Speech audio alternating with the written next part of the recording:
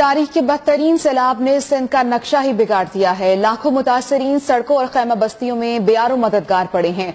मंशर झील का पानी कम न हो सका। सैलाब के खतरे के बायस सजावल शहर खाली हो चुका है। खोट दीजिए में मुतासरीन तहसीलदार के दफ्तर के बाहर सरापा एहतजाज है। मुजाहरीन कहते हैं कि बच्चे भूख से मर रहे हैं। तफसलात इस रिपोर्ट में।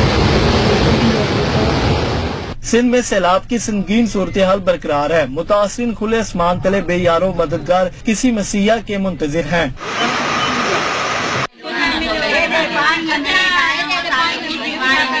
कोट डीजी में मुतासरीन भूख से मरने लगे। मुतासरीन तहसीलदार के दफ्तर के बाहर सरापा एहतजाज है। मुजाहरीन का कहना है कि बच्चे भूख से मर रहे हैं।